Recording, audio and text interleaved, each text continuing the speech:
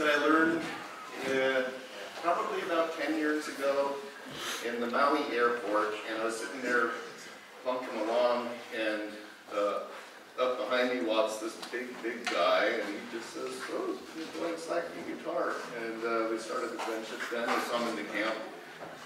Pretty much every year since then, he, he was a lot more dedicated to getting here every year than I was. But uh, anyway, I'd like to play a little playing Slack guitar piece, and Dedicated to Earl.